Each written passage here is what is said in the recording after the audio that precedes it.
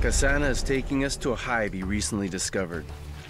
Like most things in nature, it's not placed for our convenience. It's more than 25 there? feet up a tree. Right there. Yo. This is a dead palm tree. And I can just barely see the swarm of bees flying into a hole. We have to be on our guard.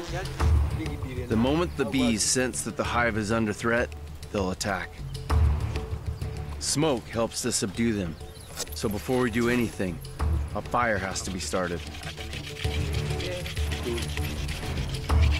Everything here is bone dry, and the tinder catches first time. Yeah, yeah. Wow.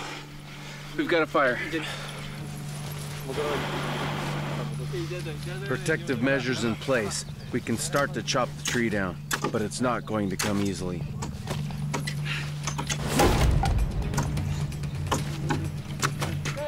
Once the tree's fallen, all that stands between us and the honey is a swarm of angry African bees.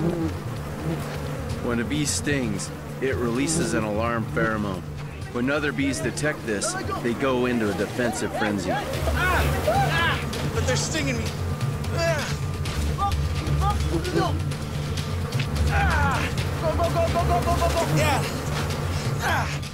The others are getting stung as much as me, but they aren't showing any reaction to the pain.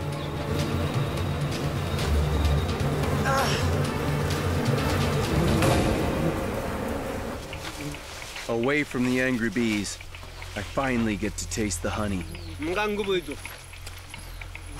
Oh my god. Never has honey ever tasted this amazing. Especially considering I've been on a diet of only milk and blood. This is like with, with every bite it feels like like the sugar's just penetrating the cells as if my body has been so needing this. Returning to the village with our bounty is a happy occasion.